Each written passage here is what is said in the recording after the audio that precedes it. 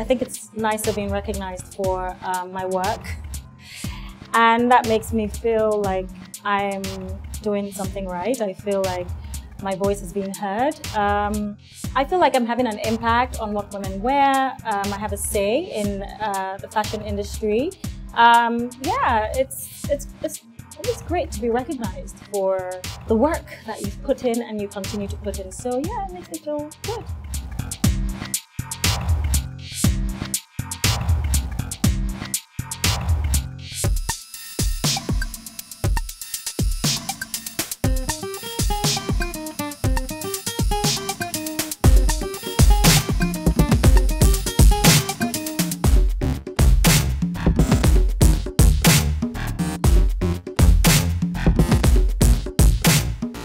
We, did three looks. I wore uh, Lisa Folawiyo, of course. We went with some jackets, uh, blazer, um, another type of jacket, like a pantsuit, um, tuxedo dress, which is what I'm wearing now. Uh, so it's really, I think they were quite strong. Um, I guess, hopefully stylish.